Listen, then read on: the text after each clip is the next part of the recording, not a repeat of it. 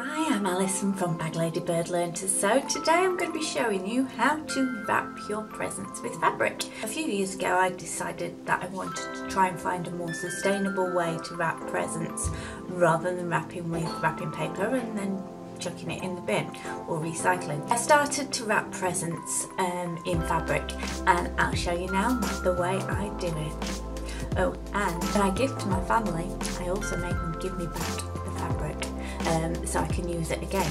What they're they going to do with it? So it's win-win. So I just use fabric from my stash for this, but if you don't have any stash fabrics that are suitable, um, uh, this particular fabric we're going to be using is cotton. You could use any sort of fabric, um, viscose, silk, you could use silk scarves, um, go trawling around charity shops and find some silk scarves to use. Anything that has enough drape to um, wrap up and tie.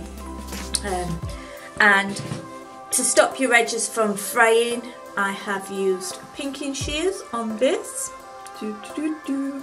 Um, but you can, if you're using something like um, a silk scarf then the ends, edges are already finished. Or if you want to get into it you could edge finish all your edges of your fabric.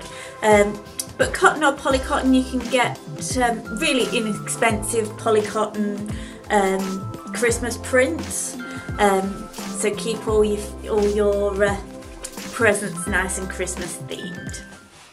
Okay so we've got a square-ish it's not perfect, um, of this Brussels sprout fabric. So it's wrong side facing up.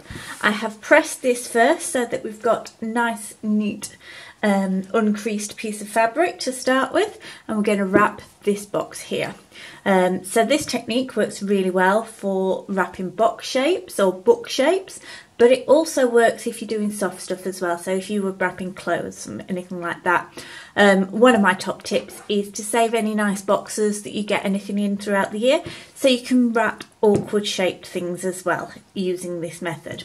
Okay, so you bring one corner in diagonally and bring it over the box. Then you bring in a corner up and a corner up and you're just bringing those in tightly left over right and under. Bring that through right and right over left and under. And bring that there.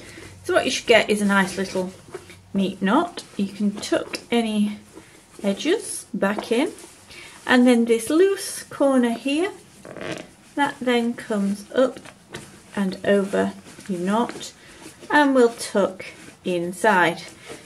So at this stage you can tie on a gift, a gift tag around your knot um, so that all your presents have got names on or you can use different fabrics for different family members. Um, depends what, what works for you. So here we have it, the little Brussels sprout wrapped box. Now doesn't that look cute.